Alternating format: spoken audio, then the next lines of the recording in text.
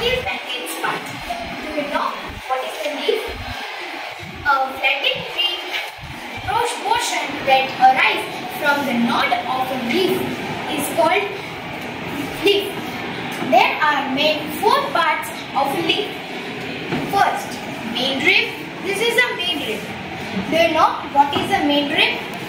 The petiole continues in the leaf that uh, continues in the leaf as a lamina in, is in the middle is called leaf midrib and next is veins.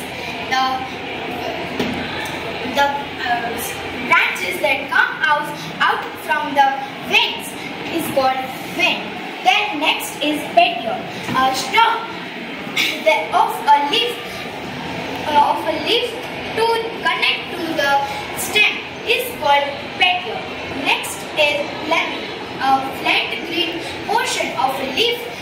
God. Then thank you.